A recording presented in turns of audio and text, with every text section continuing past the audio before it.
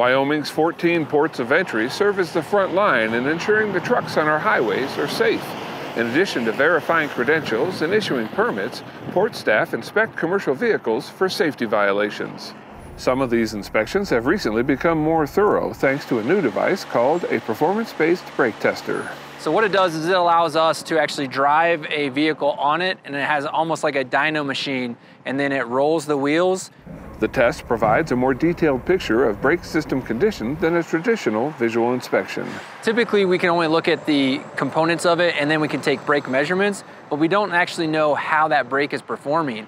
This machine actually gives us a computer percentage of how that brake is performing for each axle and each wheel end or brake, which we've you know, never been able to measure before. This is the first such machine for Wyoming ports, and staff from around the state are being trained in how to use it.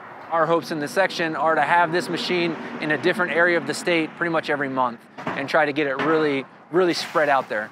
Last year, port staff conducted over 5,000 vehicle inspections, resulting in more than 3,000 brake violations. The new testing equipment should help identify even more safety hazards. We're checking brake performance and vehicles that we've never checked before.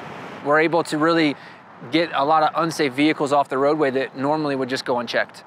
Reminding you to drive safely and always buckle up. This is Doug McGee reporting.